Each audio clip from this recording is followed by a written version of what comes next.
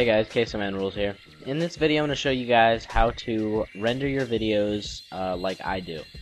Uh, a long time ago I made tutorials on how to render in HD and stuff like that, but my methodology has changed a lot on how I get things uh, rendered and set for YouTube. So I'm going to show you guys how I do it now, and I have to say it's a much more efficient process, and it still gives you that HD quality. So I recently, uh, just now recorded um, this like just test just for fun. So um, I'm just gonna open this up, and we're gonna use this as the test for this tutorial.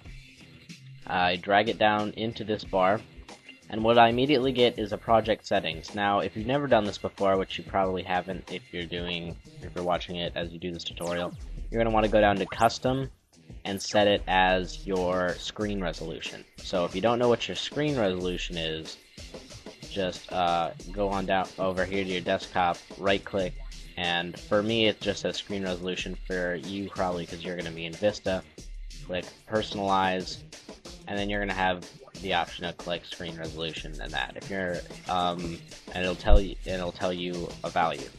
If you're in Windows 7, then just screen resolution, and you'll get a value that looks like this. It'll be a number by a number. Um, so you just need to remember that number, and what you need to do now back in Camtasia is uh, when you, let me just remove this right quick.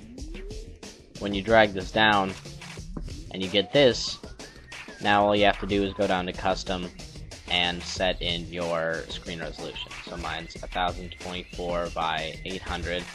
I've also got this preset which you'll have later after you go through the rest of the process, but for now, just do that and um, click change the video dimensions. Don't leave it on the smart focus, that's bad.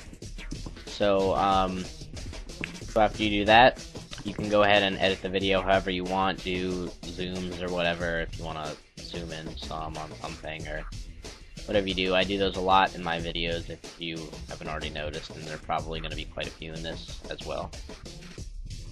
That's about it. So after you're done with that, you can go on over and click Produce Video As. This is where the important part comes in. What you're going to want to do, since again you've never done this before, is click Add slash Edit Preset. This is only if you're in Camtasia Studio 6 that you'll get this option. Otherwise, you're going to need to go to Custom Production Settings, but it's pretty much the same. So if you're in 6, you're going to get here, and you're going to click New.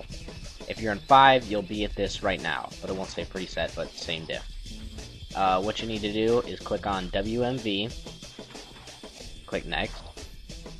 Well, actually, my bad. You need to name it if you're in Camtasia Studio 6, not if you're in 5. So, probably want to name it something like YouTube HD.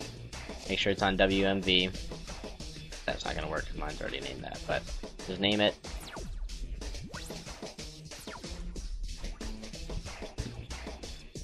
Just name it. And you'll go on over here. Leave this where it is. Don't change that at all. Click next. Alright, custom size. Um, again, you need to set it to your screen resolution. So mine's 1024 by 800. Oops.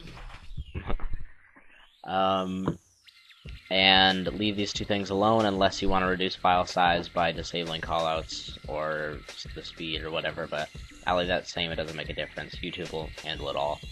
So just click next there, if you want to include a watermark, just go ahead and click options and you can browse for your watermark. And then, you know, you might want to leave the transparent color probably or change the image scale if you've set it up that way like I have, but that's just however you want to do it. And after you get that done, click finish. And now you have this preset here. Or if you're in Camtasia Studio 5, it'll automatically start rendering. But uh, here we have this YTHD. So uh, now you can scroll on down to this YTHD right here, click yes, and click next. Now we're going to name it what we want to name it. So I'm going to do it just to the desktop, and we're just going to call this tutorial. Actually, no, my bad. That's going to go up here. Um, I don't like to organize it into a subfolder, but whatever you want, click next and finish and your video will start rendering. Now as you see, it's rendering really fast right now. Actually, it would be going faster if I wasn't screen recording right now. But, you know, that was just like a 10 second clip. But, you know, if you're doing something longer, it takes longer, but a lot, it's a lot shorter than how I used to do. I used to have to render videos in an hour. Now I'm getting it done in like 15 minutes. So that's a lot better. And it still provides HD like you want. So now we've just rendered here, and the video has just come up to show you what it's going to look like.